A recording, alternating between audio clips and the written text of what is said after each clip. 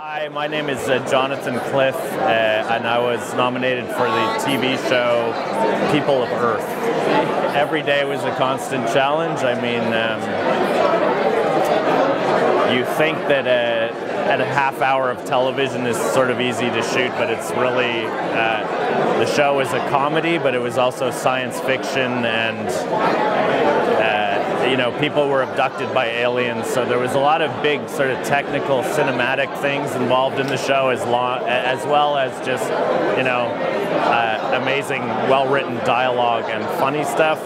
Then there would be, you know, someone getting sucked up by a spaceship in the middle of the night in a field somewhere. So it was a real range of things, and it was kind of uh, that was the biggest challenge was trying to, you know, make sense of that those different worlds. I guess I have always been a fan of Panavision and their lenses. They have the greatest legacy of making glass in North America, at least. So uh, that was my first choice, and luckily enough, the the finances worked out that we were fortunate enough to use uh, Panavision lenses and uh, ARRI. We shot with a Mini and an Amira, a Mini for putting on uh, steady cams and cranes and stuff, and an Amira, uh, which uh, you know these are my probably my favorite combination of things is ARRI and uh, I love Panavision glass. We worked with uh, Mr. X. I don't know if you're familiar with that company, and um, they they were very present uh, all the time, and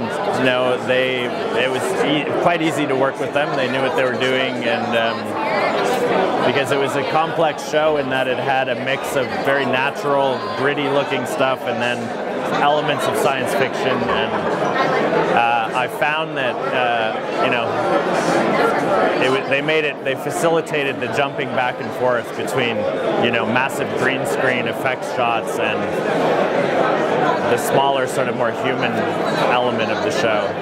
We posted the show at Technicolor which along with Panavision is my you know I love the history of Technicolor, the legacy that they have in Hollywood, all the things they've developed over the years and my favorite colorist in Canada is Jim Fleming, and I had, you know, I was fortunate enough to work with him there, and Brian Reed at Technicolor were of enormous help, and I, I hope that, you know, I think we're about to start shooting season two, so all that's going to happen again, and it's going to be amazing, and I'm so happy that I'm there.